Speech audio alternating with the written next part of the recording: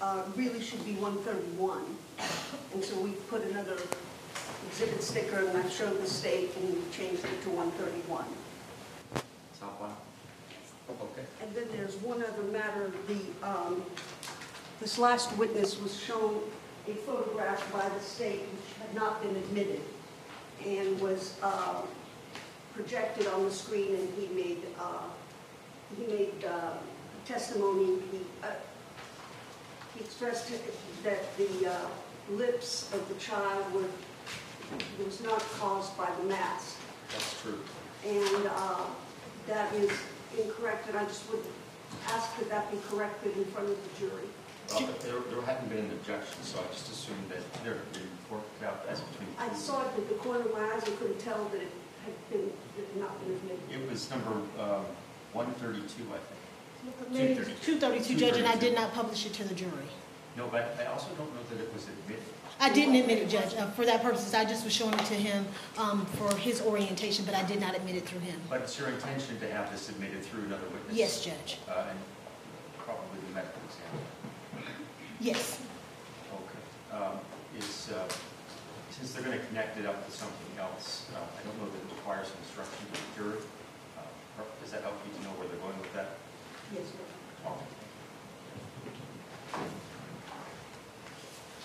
go ahead and bring up the jury.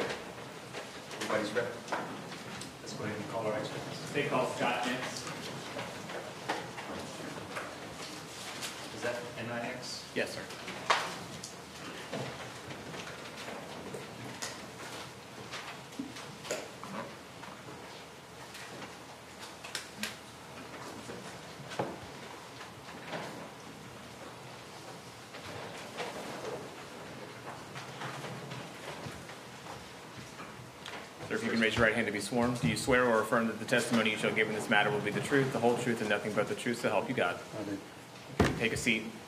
Please state your true and correct name for the record.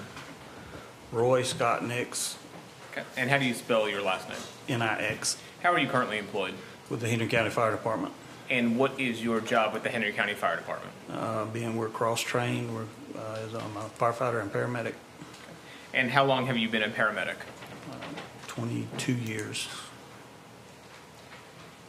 And have you always been with Henry County? Uh, As far as the fire department, yes. Okay. I want to go ahead and bring you back to November 17th of 2015. Do you recall responding uh, to an, uh, an incident revol- involving a child on that day? Yes. And uh, do, you- um, do you, well, let me ask you this. Do you recall um, what vehicle you happened to be in on that day when you got the call? I was on Rescue 3, And or excuse me, 13. Rescue 13? And what is Rescue 13?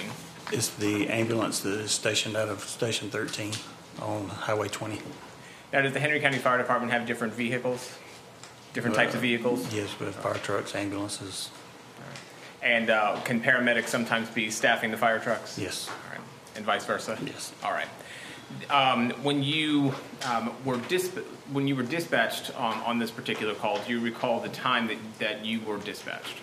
Uh, I believe it was somewhere around 1740. Uh, If you have my run report, I could probably tell you the exact time. Sure. Let me, let me uh, show you this to help refresh your recollection.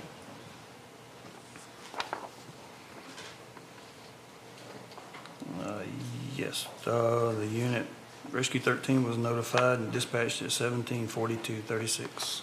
Okay. And uh, what information did you originally receive about this particular call? Uh, It came in originally as a a two-year-old female choking. Okay. You said originally. Did that change at all while you were en route? Yes, it did. And what did it change to? It come into a person unconscious, uh, CPR in progress. Now, where were you, if you recall, when the call came in? I was sitting at the red light at Macon Street in the city of McDonough Square. About how far um, was it from your location to the incident location that you responded to? Uh, it was like eight or nine miles. And how uh, quickly um, were you able to uh, to get to that location? Uh, we made it in, in just over 11 minutes.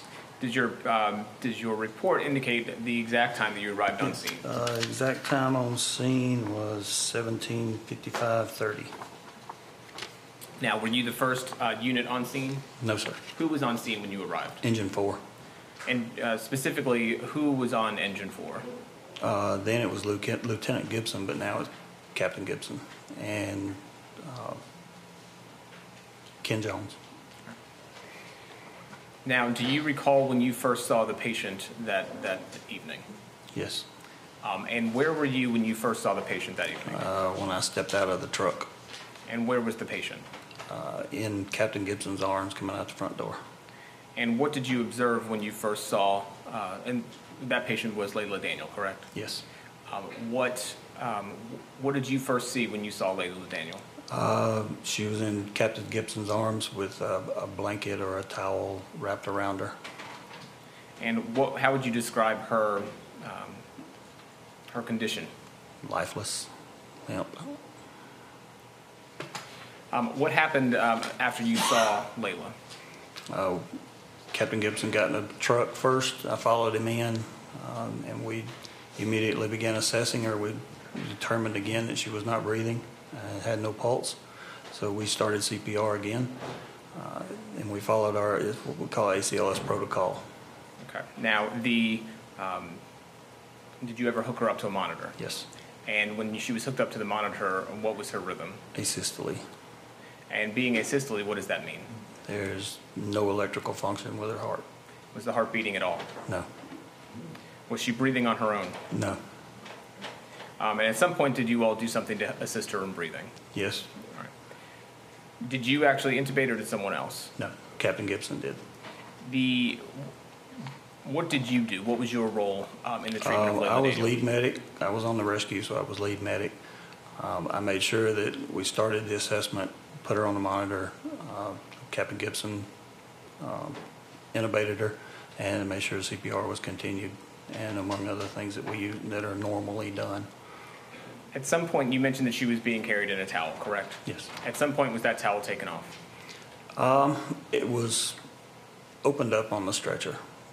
Um, I can't recall for sure if it, she was taken off of it completely, but when we laid her on the stretcher, we had to open it up to expose her. And when her body was exposed, did you notice anything? Yes. What did you notice? uh, multiple bruising uh, around her arms, hands, uh, legs, and uh, hip area, torso. At any point, did you turn her over onto her back? Yes, And did you notice anything when she was turned onto her back? yes. What did you notice? Uh, more bruising. Showing you what's been admitted- as State's Exhibit 67. Is this what you observed? Yes, The, um, have, have, you've been a paramedic for 22 years now, correct? yes, Um, and have you responded to other uh, calls for young children around two years old? yes, Have you ever responded to calls where CPR has had to be used? yes. Um, in all of your 22 years of experience, have you ever seen anything like that from resuscitative methods? No, How about the Heimlich maneuver? Have you ever had to respond to a call where perhaps the Heimlich maneuver was used? yes, And in all of your 22 years of experience, have you ever experienced anything like that day? no.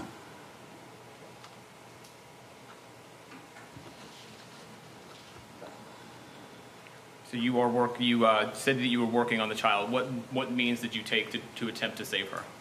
Uh, of course, we've done the CPR. Uh, we, we established an IV line.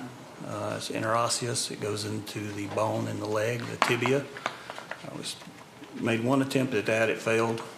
Uh, we made another attempt and it succeeded in the right leg. Then we began pushing the cardiac drugs that we carry. And Brian intubated her. I'm going to show you uh, on the on the screen what's been admitted as State's Exhibit 2. You mentioned something about an inner interosseous. What are you talking about? Can you see that here in the picture? Yes. And uh, there's actually a pointer there if you want to use that to point. What are you, it's over on that. Oh, I don't know if that one works. Why don't you try the old school map? All the old school, okay. You can't see it, but it's the same thing as this right here in this leg. And why did you, uh, why are there two in her legs? The first one on the left was a failed attempt. And what do you mean by failed attempt? When you insert the IO, you're supposed to aspirate, and if you get bone marrow back, you're in the right spot. If you do not, then you're not in the right spot. So the first attempt, uh, is it safe to say that you, you weren't in the right spot? How about the second attempt, the, the one where we see the bandaging? Uh, we aspirated out of it, and so we secured it, and it was our main route of administering drugs and IV fluids. So it was through this line that you were able to administer the drugs? Yes. What are some of the drugs that you administered to Layla on her way to the hospital? Uh, the drug of choice and for the uh, ACLS protocol and for his cardiac arrest is epinephrine. Um, at any point uh, while Layla was in the back of the ambulance, uh, did she ever um, have a heart? Did she ever have a heart rhythm? No, Did she ever breathe on her own? no. Um, how long did it take you to get to the hospital? I believe, according to the run report, 11 minutes and some odd seconds. Okay. Do you remember? Does it say the exact time you Yes, arrived? at we the arrived at the hospital at 1826. Now, the entire time that you were in the back of the uh, ambulance was, uh, were you all attempting to, to do resuscitative methods? Yes. And what are those, besides the, uh, the, the drugs that we've heard about, what, what are the other means that you attempted to do? CPR. And was it you administering or someone else? Uh, we all had a, during the swap out, you know, we all take turns. It's, you have to swap out every so often. And do you recall how you administered CPR to, the, the method you used to administer CPR Yes. to? And what did you do? It's one hand, palm of your hand, center of the chest, nipple, center of the nipple line, center of the chest. Compress about an inch, inch and a half. For a two-year-old child, is it, is it part of the protocol that you've been talking about to use that one, one hand? Yes.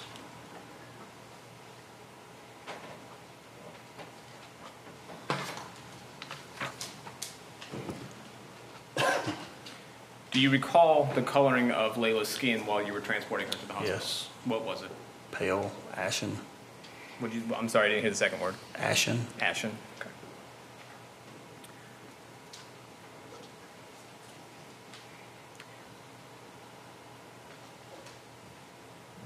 Now, you, um, at some point, did you get to the, well, at some point you did get to the hospital, right? Yes. All right. What did you all do when you got to the hospital?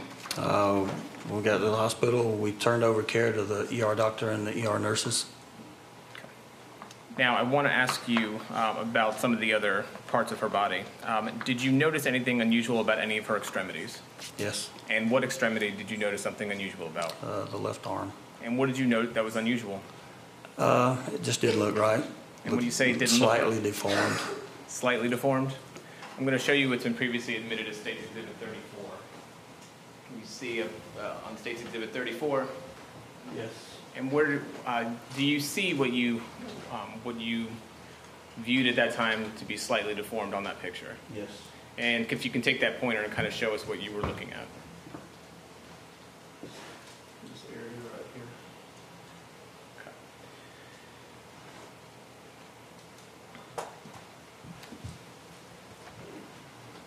I want to actually go through, this is uh, State's Exhibit 36. Do you see any deformities on the other arm? No. Is there anything, I'm showing you State's Exhibit 19. Was there anything about the medical intervention that you all uh, did that night that would have caused anything seen in State's Exhibit 19? No, sir. State's Exhibit 5. Uh, Was there anything about the medical intervention seen in State's Exhibit 5 that would have caused any injury to Layla Daniel? No, sir. State's Exhibit 27 I'm showing you. Was there anything that you all were doing in the back of the ambulance that would have caused any, any of the bruising seen in State's Exhibit 30, uh, 27? No, sir.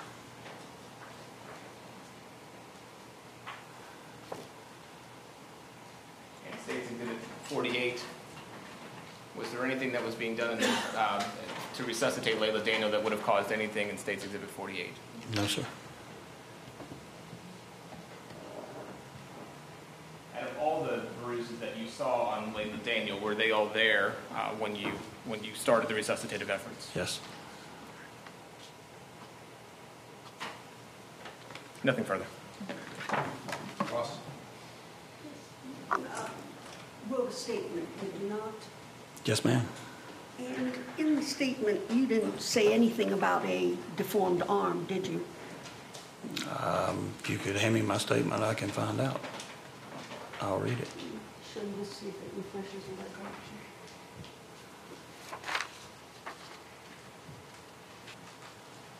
No, ma'am, not in my statement. What happened to the towel or the shirt, whatever it was that you were laying the child on? What happened to that? I can't recall. Did evidence not pick it up? I have no clue.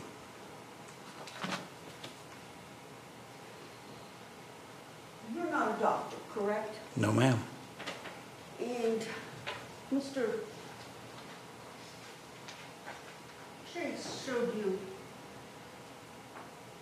this picture, Exhibit 27, and asked you if anything you did could have caused that. Could that have been caused by somebody administering back blows and um, having done it too hard? No, ma'am. It couldn't have been. Do you know what caused this bruising? No, ma'am. Okay, so you don't know what caused this bruising? I do not. So you don't know that it wasn't pounding, uh, of somebody pounding on her back? No, I do not know that for sure. Thank you, I have nothing further. Thank you. Can you redirect?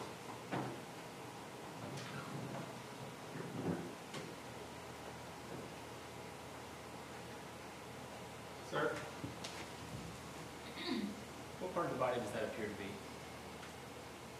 Uh, Layla's neck. Nothing further. Do you know how the bruising got on Layla's neck? No, I do not. So you have no idea what caused it? No. And you don't know whether it was as a result of faulty uh, administration of back blows? I don't know that for sure. Thank you. Nothing. Thank you. You can step down. Any objections, witness being excused? No. All right, thank you for being here.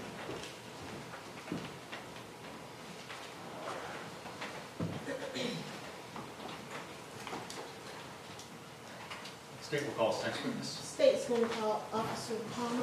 Officer Palmer.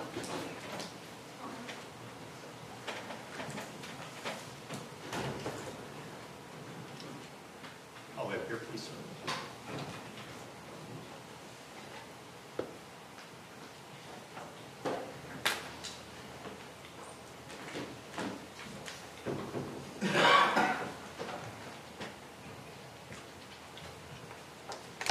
Can you please hand? You swear affirm the testimony you're about to give should be the truth and the whole truth, so help you God. I do. Please lower your hand, you may have a seat. If you could, please state and spell your first and last name. James Palmer, P-A-L-M-E-R. And your first name. I'm sorry, J-A-M-E-S. And Mr. Palmer, in 2015, were you employed with the Henry County Police Department? Yes, ma'am, I was. And what position did you hold with the Henry County Police Department? I was a patrol officer. And as a patrol officer, on November the 17th of 2015, did you get a call to the location of 1521 Lincoln Terrace? Yes, ma'am, I did. Do you recall what time you received that call? Second, just look at my report. At uh, 5:48 that evening, or that afternoon. And um, is that the time that you arrived at the location or the time you received the call? That's what time I received the call. Okay, and what time did you arrive at the location? Hold on here, one second. Um, Around 5:54. And what was the nature of the call that you received? Uh, It was a sick call. And what, when you arrived at that location, what did you observe? When I first arrived on the scene and I exited my vehicle, I saw a firefighter leaving the house without the front door with a child in his arms going, and he went right into the ambulance with the child. And what did you do at that point? I went and met with the uh, mother, uh, Ms. Rosenbaum. And where was she at that time? She was inside the house. Did you observe anyone else inside the home? No, I did not. And did you speak with Ms. Rosenbaum? Yes, I did. And what did you speak with her about? Uh, The child and what had happened. And what did you, what did she tell you happened? She told me that the child had, uh, was choking on a piece of chicken. And did she tell you what she did in response to that? Yes, that she had tried the Heimlich maneuver at the, uh, in the kitchen sink and, uh, but was unsuccessful. Okay. Um, and did she tell you anything else? No. Did she, when you say unsuccessful, did she indicate to you whether or not, um, whatever the child, um, allegedly was choking on came out? Uh, Apparently, I would say no, since the fire department was so eager to get her, get the child to the ambulance and, you know, take care of it. And she even, like I said, she did admit that she had called 911 when the child had turned white. But again, she also said to me that she was not very good at it, talking about the Heimlich maneuver. And, um, did you, did she go into any further detail about not being very good at it? No. Did she describe to you in any manner what she, what she had done when she talked about putting the child over the sink and doing the Heimlich? She did not. After that conversation, um, what did you do next? Went back outside. Um, The paramedics advised me, and uh, at this point too, a sheriff's deputy had also arrived on scene as well with me, and advised us that the child, I'm sorry, that they needed somebody to drive the ambulance because both the EMS techs needed to work on the child. And uh, the deputy had volunteered to take him, to drive it up to uh, Henry Medical. Where was the mother when you went outside and had this conversation with the paramedics and the Henry County Sheriff's Deputy? She was still in the house. What happened at that point? Again, uh, like I said, the deputy volunteered to uh, drive the ambulance once they got, uh, they meaning the EMS techs, once they got taken, you know, ready or prepared, um, they left. Then the Miss Rosenbaum, after securing the house, also left as well to go up to Henry Medical. When you say securing the house, did you go inside with her prior to her um, leaving or No, I waited, home? I was outside. I'm just saying, you know, lock, make sure all the doors and everything was locked up, and then she went up to Henry Medical as well. Okay. And what did you do? I then went back in service. At some point in time later on that evening, did you get another call to that location? Yes, ma'am, I did around 6:20. I'm sorry, 6:20 is when I went back in service from there, and then 7:13 that eight, that same day, I got dispatched back out to the house. What was the call in, at that time? I was asked to go back out to the house and secure it, and, uh, meaning basically I sat on the house until CID arrived. And did you do that? Yes, ma'am. Did you ever make entry into the home prior to CID arriving? No, the house was locked. I I couldn't have got in there. Was there anyone else at the location when you arrived? No. Eventually, did anyone arrive? Yes, CID arrived, and then the, uh, like I said, Mr. and Miss Rosenbaum also arrived. Did anyone go inside the home at that point once CID arrived and the defendants arrived? Yes, all of us did. Okay. And where did you go? When you first walk into the house, through the front door, if I remember correctly, there's a room that was on the right-hand side, like a living room or sitting room, whatever. And uh, myself and Mr. and Miss Rosenbaum stayed there, and uh, while CID conducted a search warrant. Let me ask you, who arrived first, CID or the defendants? CID, And um, at the point that the defendants arrived, um, were the CID and yourself let in? yes, And who let you guys in? the the parents, And once you said you went, you went inside the home, yes. where did the Rosenbaums go? They were in there with me, that same room. They, like I said, I basically sat with them while CID did what they needed to do. During the time you were sitting with them, approximately how long was that? How long was I with them? Yes.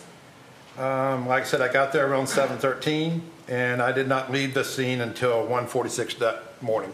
And are you sitting with the Rosenbaums that entire time? Yes. And um, are you having any discussion with them? We talked about, um just this and that, you know, nothing important, but we never, ever discussed the case at any point. We just, I'm sorry, but kind of just BS'd. What was their demeanor during this, this um, several hours of speaking with them. They were calm. Did they ever appear to be upset, emotionally crying, or anything of that nature? Not that I recall. Nothing further. You don't have an independent recollection, do you? I'm sorry? I said, do you have a independent recollection, or have you read your report in preparation for coming? I've read my report. Okay, so as you sit here today, you don't remember, um, actually four years ago what happened, but you've been refreshed by your report, correct? Correct? And so in your report, you said you made contact with Miss Rosenbaum. So you must have gone in the house to make contact with Miss Rosenbaum, correct? Yes, ma'am. And Miss Rosenbaum told you the child was choking on a piece of chicken, correct? Yes, ma'am. She didn't tell you anything about whether the chicken had been expelled or not. No, she did not. And Miss Rosenbaum told you that she placed the chi- child at the sink and tried the Heimlich, correct? Yes, ma'am. And um, after she, um, after the, the ambulance left to go uh, to take the child to Henry Piedmont, did you see Miss uh, Rosenbaum leave the house and, and follow the ambulance to Piedmont Henry? Yes, ma'am. I was the last one to leave, And, and everybody was gone when I left. And she had a little girl with her at that time? I did not see a little girl. You didn't see it? No. Did you look in the car? I didn't pay a lot of attention to it, but the only person, as I said before, that I ever saw was Miss Rosenbaum. Okay, thank you. Yes, ma'am. Oh, one, one last question. Show you what's been marked as Exhibit 132.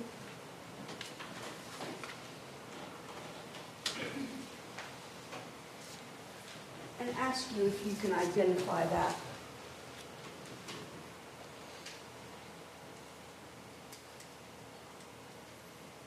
I don't recall this room.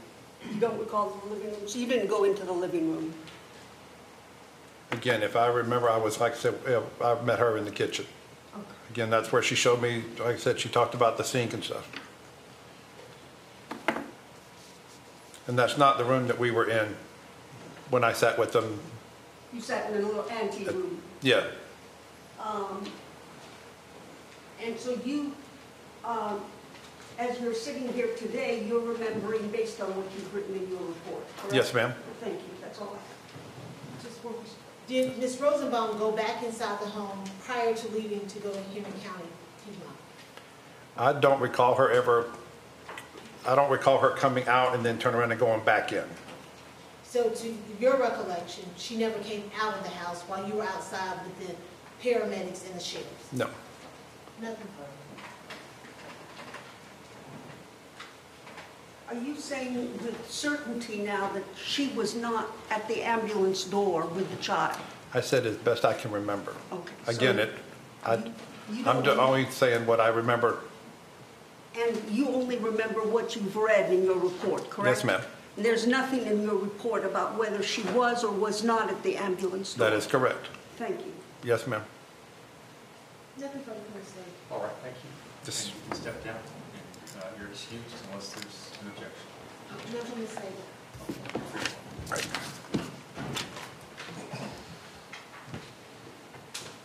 State calls next witness. State calls Dr. Balu Manning.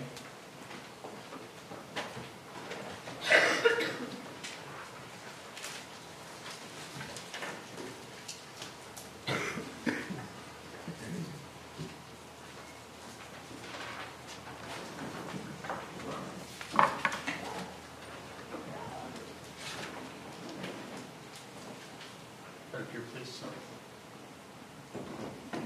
Right through that gate, right there in front, wherever you are.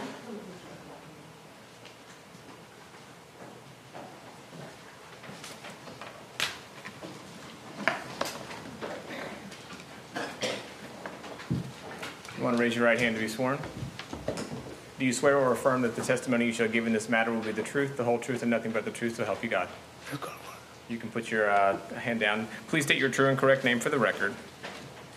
I'm sorry, State your name for the record. Dr. Balu Yani, Okay? And sir, how are you employed? You have spell his name. Sure. Can you spell your name for us?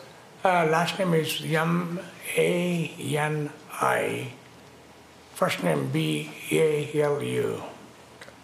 And Dr. Yani, um, what kind of work do you do? What kind of work I do? Yes. Uh, I'm a radiologist. And how long have you been a radiologist?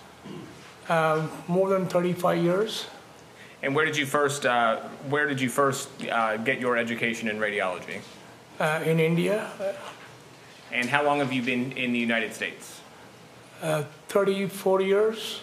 And were you also practice, uh, are you also licensed to practice medicine here in the United States? Yes, sir. And are you a practicing radiologist? Yes, sir. All right. And uh, where, where is your current practice? I practice in um, Riverdale, Upper Riverdale Road, next to Southern Regional Medical Center. I'm sorry, can you say the last part? Uh, Upper Riverdale Road, next to Southern Regional Medical Center. Next to Southern Region Medical Center. Okay, great. Um, and do you sometimes read uh, x-rays for um, hospitals? Hospital. Yes. I used to be working in a hospital until 2017, so I was in a hospital. In 2015, where were you working? Um, Piedmont Henry Hospital. So Piedmont Henry Hospital? All right. And did you have, did you read some x-rays regarding a patient by the name of Laila Daniel? I don't remember exactly, but I've been shown the x-rays I read by you. Okay, and the name is actually on there, correct? The name of the patient? I don't remember the patient name. Sure. Let me, look, let me have you look at State's Exhibit 124. It's behind you. Yeah. Do you see, uh, do you see the patient's name? Lila Murray Daniel. Okay. And are you the radiologist who read the, uh, the x-rays in this case? Yes, sir. Okay. Um, and so i we're currently looking, what kind of um, x-rays, um, was it, let me ask you this, was it the full body? No, x-ray the whole body. You're correct. X-ray the whole body, okay. So I'll show you State's Exhibit 125. This is just an x-ray of the skull, correct? Yes, sir. All right. How about 126? Was there also an x-ray done? And if we could have the lights just come down. Is this also an x-ray that you read? Yeah. Um, in, the, in states 126, did you see anything abnormal in states 126? I'm unable to see anything abnormal in this x-ray. Okay. How about states 127? What kind of x-ray is this? Is the chest lateral view. Okay. And stage 128. The entire spine lateral view. How about stage 131? What kind of what what kind of X-ray is this? This the AP view of the left lower extremity. The left lower extremity. Yes, sir. Okay. How about stage 132? The other view of the left lower extremity. So it's a lateral view of the left left lower extremity. Yes, sir. Great. Um, and these are all. You said this was a full body X-ray, correct? Yes, sir. So you're reading all of these X-rays, correct? So far in any of these re- X-rays, did you find anything abnormal? Not in this case so far. Okay. States 133. What are we looking at here? The AP view of the pelvis and upper thigh area. Okay. So that was the AP Nope. view you said. Yeah. And so that would be anterior posterior, correct? Correct. Um, and if I'm correct, that means it would be shot from the X-ray machine would be in front of the person and shot back. From the experiment in front of you and the filament behind you. Okay. How about states exhibit 134? What are we looking at here? This is the um, view of the right upper extremity. And is this just another view of the right extremity? Yes, sir. All right. Anything abnormal in states 134? No, not in this. All right. What are we looking at in states 136? This is the uh, AP view of the right lower extremity, and there is an old or subacute fracture of the proximal tibia. So you said you see an older uh, uh, fracture of the proximal tibia. Yes, sir. Okay. And um, give you the, I don't know if the laser one's here, but I'll give you this pointer. Um, what are we looking at here when you said you're, there's an older fracture of the left or the right uh, proximal tibia? If you look at here, there is the actual bone here, and this is the new bone, or the bone that's being formed after a fracture has been there.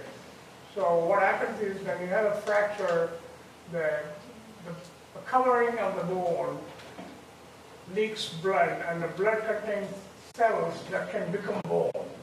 So these are new bones that are being formed to make the, bridge the gap between the broken bone to join together. Okay. And does this bone look like look like it is healing? Yes, sir. It's healing. It is healing. Oh, it's healing, yeah. Okay. It has been there for at least a few weeks. At least a few weeks. Yeah. Great. And is this stage 137? Is this just another view of that same extremity? It's hard to see, but you can see the new bone formation reflected behind the proximal tibia. I want to go ahead and show you states 130. Um, what are we looking at in states 130? This AP view of the left upper extremity, and this is, there is a fracture of them. This is called ulna, this is called radius. There's a mid-ulnar fracture. If you look carefully, there are fuzzy areas around the fracture, basically meaning there is healing that's happening. And from that, can you can you give it a can you when does healing when can you start to see healing on an X-ray? About about how long until you? Uh, it, initially, after the fracture, you develop blood pool there, and the blood pool there are cells that are supposed to form new bones to to uh, bridge the bone. So this should be at least two weeks, one week to two weeks old to have this kind of fracture. The, the bone, even though the cells are there, the cell to become a bone, it takes at least one to two weeks. So this is at least two weeks old fracture. Okay, at least a two weeks old. How about at the other end? Can you say can you give an approximation as to Right. it, it probably is no more than X number of weeks. Like, within one to three weeks age. So the, the, uh, this bone is appro- this break is approximately one to three weeks age. Oh, sorry? This break is approximately one to three weeks Correct, old. Correct. correct. Okay.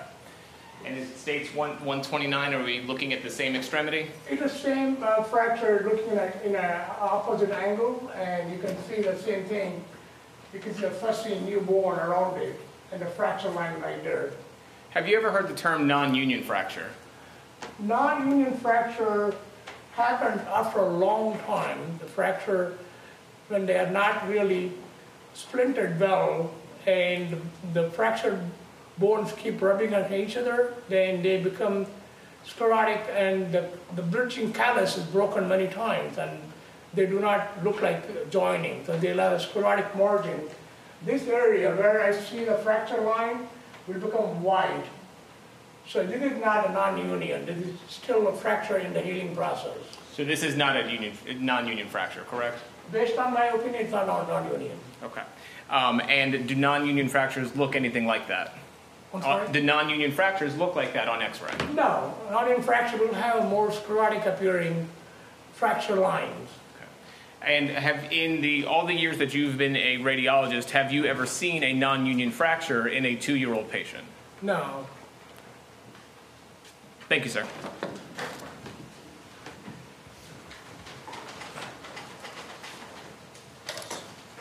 Cross. Yes. Dr. Mahoney, do you, um, you talked about the two arms, correct? I'm sorry, You talked about the two arms, two arms, yes. You talked about the, the broken arm, broken bone, yeah. yes.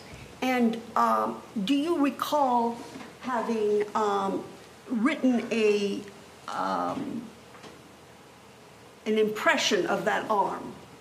Did you write an impression? I'm sure I, I write impression on my report, yes. Okay. Um, If I may ask you this, do you recall saying that this was a non-union, a fracture and non-union of the midshaft of the left ulna? Non-union basically means it has not been splintered. So it it was a non-union fracture? It's a fracture in healing phase without a splint in place. And isn't it true that you wrote that evidence of subacute fracture and non-union of the midshaft of the left radius and right proximal tibia? Isn't that what you wrote? Okay, non-union basically means it is not splintered to become a closer opposition, so they, uni- they unite faster. Do you recall having called it a non-union fracture, fracture and non-union of the midshaft Um, it's possible. It's possible. Would it help you to refresh your recollection to look at that? Oh, You can show me the report, yeah. Do you have a paper copy? I don't, Your Honor, I could make a paper copy. Well, we're going to need a paper copy. Okay. Your know, if I could have about five minutes and, Okay. um, Let me get a sense for how much longer we have with this witness. Not much. Not much? If the parties will agree that what's on the screen is something that um, he can view, in other words, that it's authentically the document that we produced and made a part of the record, uh, then I don't have a problem with this procedure so long as when we're through with court today, there's an agreement and stipulation to supplement the record with this piece of paper. Is there any objection to proceeding like that? All right, let's go ahead.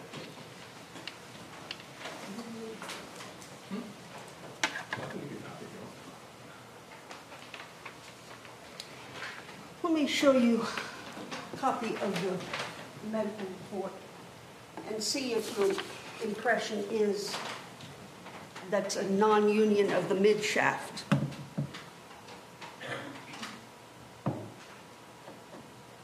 Yes. Thank you. I have nothing further. All right. Is that exhibit being marked to make part of the record? I could, Your Honor.